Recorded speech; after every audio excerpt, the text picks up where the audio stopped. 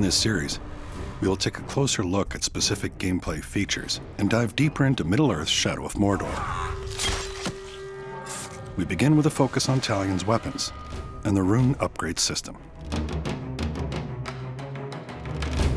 Runes add powerful buffs to Talion's weapons and are dropped as loot when enemy captains are vanquished.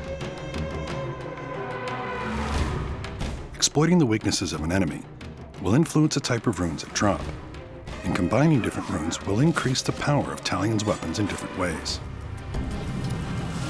Epic runes are rare and powerful upgrades that can make Talion's weapons even more legendary.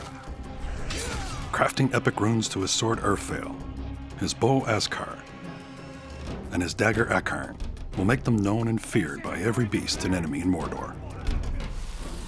Finding an epic rune requires Talion to dominate a captain and have him deliver a death threat to his war chief. Hearing that Talion is after him and is promising a cruel death, the war chief surrounds himself with bodyguards for protection. You want to fight? All you've got to do is ask. Defeating the war chief and his gang is no easy task, but the reward is great. With the death threat fulfilled, the war chief drops an epic rune. This particular epic rune adds a powerful blast of fire arrows and is only one example in a wide range of unique weapon upgrades. Through a variety of customizable rune combinations and his weapons, Talion will become a legend and brandish an arsenal without equal in all of Mordor.